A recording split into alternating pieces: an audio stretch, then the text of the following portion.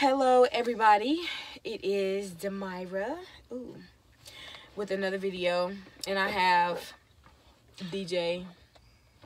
Go subscribe to my YouTube channel, Iris Daddy. It'll be down in the description. She never put my name down there, but it will be down there today. And we're just gonna be completely honest. Y'all, my face is completely breaking out, excuse me. But we're just gonna be honest. We just came back from the appointment. And oh, the disappointment. Y'all, I am so aggravated. It's crazy because we went today and they said that we are only one centimeter the same as last week and i'm 39 weeks. I have literally not even a week left. And they said if she doesn't make her debut this weekend then we will go back monday. And at that point they will schedule me for an um, induction or to induce me or whatever at spartanburg regional. So with that being said yeah. Like, look at DJ face. DJ, you're disappointed, aren't you? Mm-hmm. How do you feel? I feel like disappointed. Like, this is wild. Like, we done did everything that they done told us to do. Like, stuff to try or whatever. But it still ain't happening. So, I'm done. Like, I quit. Like, I'm just about to chill. She gonna come whenever God say that it's her time to come. So, yeah, I'm not doing anything else. I'm relaxing. No more walking. No nothing. I'm chilling.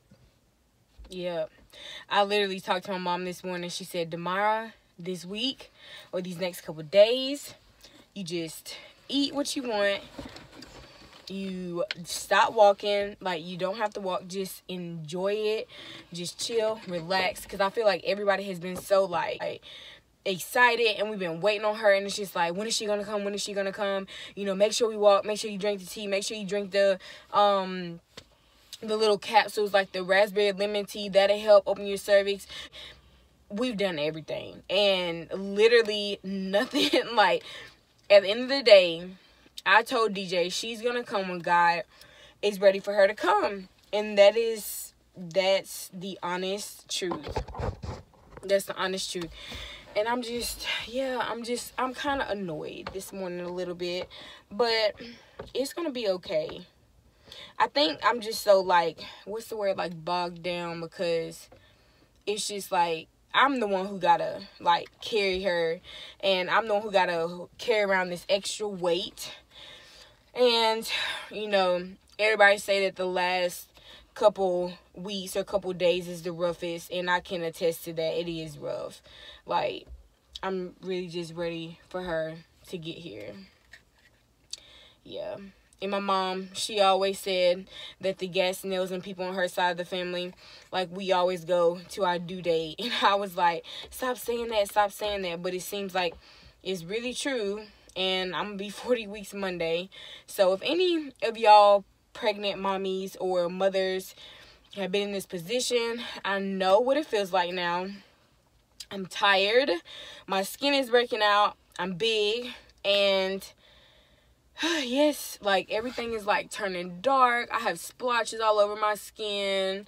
It's just my whole body has changed and we are just waiting at this point. Iris, they said it will be worth it. The doctor said, and one of my nurses who gave my blood pressure literally told us, I hope she makes her debut over the weekend. And at this point, the only thing I should be checking is the contractions, she said, five minutes apart, and my water breaking. If those two things don't happen, then I will be induced, pretty much. So, all right, guys. We will check back in with you later and make sure you go subscribe to his channel. It'll be in the link below. And yeah. We will get back with you guys. Hopefully iris will make her appearance very soon sooner than later. Yep. Bye. See y'all